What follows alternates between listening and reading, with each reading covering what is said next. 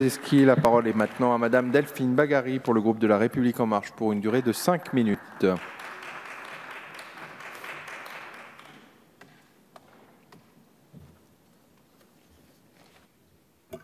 Merci. Monsieur le Président, Monsieur le Président de la Commission, Monsieur le rapporteur général, Monsieur le Ministre, nous sommes amenés ce matin à débattre donc de l'orientation budgétaire et j'aimerais revenir en détail sur le financement de la lutte contre la pauvreté. Pour 2019, le programme 304 Inclusion sociale et protection des personnes s'est doté d'une action supplémentaire nommée Stratégie interministérielle de prévention et de lutte contre la pauvreté des enfants et des jeunes. C'est 171 millions d'euros qui y sont consacrés. Le plan souhaite répondre aux vœux formulés par le député Victor Hugo devant la représentation nationale je ne suis pas de ceux qui croient qu'on peut supprimer la souffrance en ce monde, mais je suis de ceux qui croient qu'on peut détruire la misère. L'État s'est donc lancé dans une politique volontariste de contractualisation avec les collectivités portant les politiques sociales. C'est en particulier le cas des sorties de l'aide sociale à l'enfance. Le Parlement en a débattu récemment lors de l'examen d'une proposition de loi de Madame Brigitte Bourguignon. L'État s'est engagé à financer 12 millions d'euros par an un dispositif pour que les enfants placés après leurs 18 ans puissent être concrètement accompagnés vers leur autonomie. De même, à la suite de la signature il y a tout juste un an d'une convention d'objectifs et de gestion entre l'État et la CNAF, l'État s'est engagé financièrement dans le renforcement des politiques d'aide à la parentalité, dans la création d'espaces d'accès aux droits et aux services, dans le financement d'établissements d'accueil de jeunes enfants et dans l'accès aux crèches pour les enfants en situation de pauvreté. Ce qui a été fait dans le cadre de la loi Finances 2019 n'est que la première étape d'un dispositif amené à monter en charge.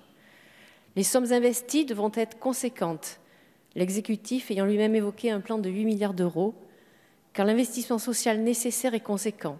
Il y a en France 8,8 millions de pauvres, il y a en France 3 millions d'enfants pauvres.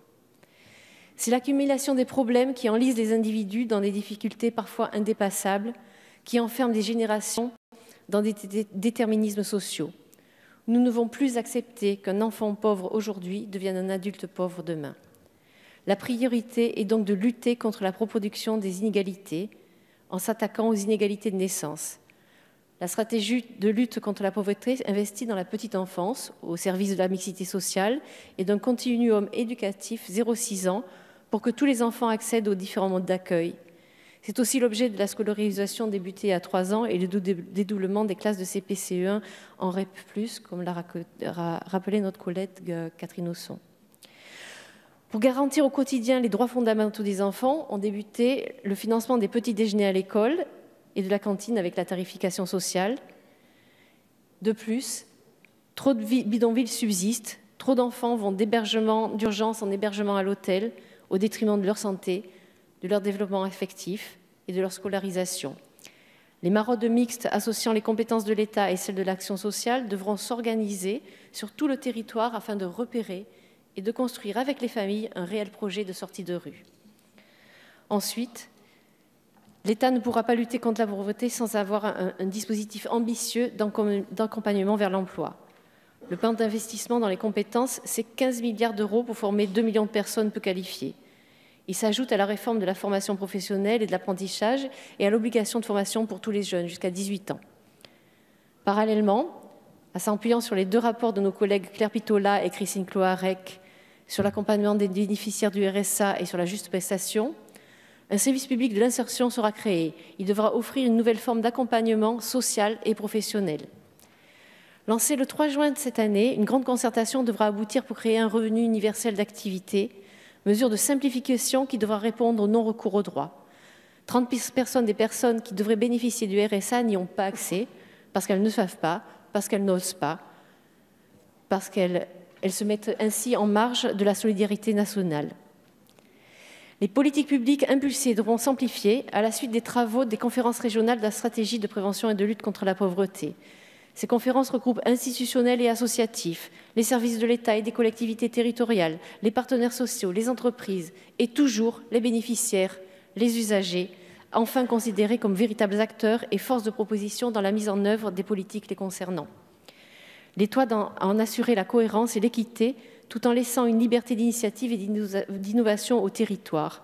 au plus près de leurs besoins, de leur connaissance du terrain. C'est l'objet de la contractualisation avec les conseils départementaux, contractualisation qui se traduira par un financement croissant, puisqu'il devrait passer de 131 millions d'euros en 2019 à plus de 200 millions en 2022. Pour lutter contre la pauvreté, il nous faut donc développer les politiques de co-construction, du aller vers et de facilitation d'accès aux droits, à la formation, à l'éducation, au logement, tout en assurant le repérage précoce des fragilités pour développer la prévention.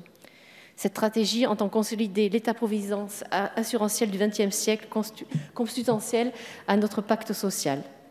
C'est parce que nous voulons éradiquer les inégalités de destin à la naissance, que nous voulons détruire la misère, que nous devons faire une politique publique forte et prioritaire. Et nous veillerons donc, Monsieur le Ministre, à sa traduction dans les textes budgétaires. Merci beaucoup, Madame Bagari.